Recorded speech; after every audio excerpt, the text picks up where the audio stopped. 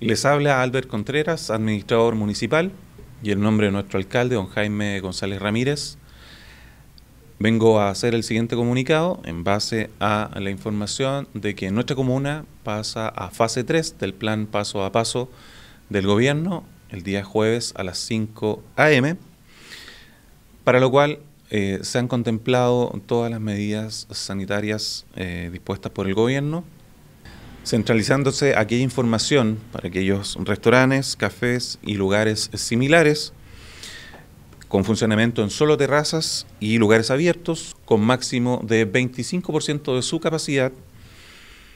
y asegurando al menos dos metros entre las mesas. Para estas medidas hace el llamado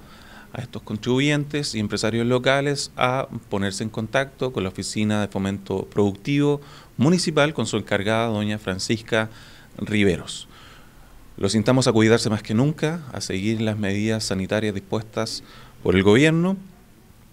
y a que se cumplan estas medidas en concreto, que son en restaurantes, cafés